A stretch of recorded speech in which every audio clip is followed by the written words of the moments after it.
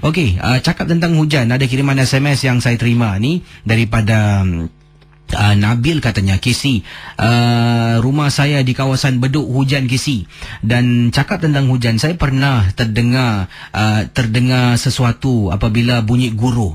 Uh, guru berdentam dentum beberapa kali dan perkara ini berlaku lebih kurang 2 tahun yang lalu di kawasan uh, di kawasan rumah saya di Beduk North Street 3 blok wah Siap dengan blok eh tak payahlah Nabil eh.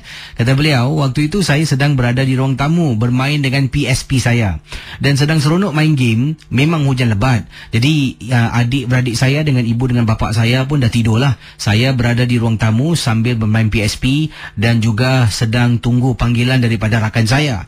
Jadi apa yang berlaku? Bunyi guru berdentam-dentum. Kawan saya pun telefon dia kata hari ini dia tak jadi datang rumah lah uh, sebab kerana hujan lebat. Jadi saya pun kata okeylah saya continue main game.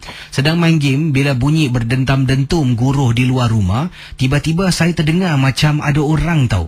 Macam ada orang menangis di bahagian dapur rumah saya. Pada mulanya saya tidak indahkan sebab bunyi hujan terlampau kuat dengan bunyi guruh lagi mungkin agaknya bunyi tiupan angin membuatkan bunyi itu kedengaran seperti orang menangis.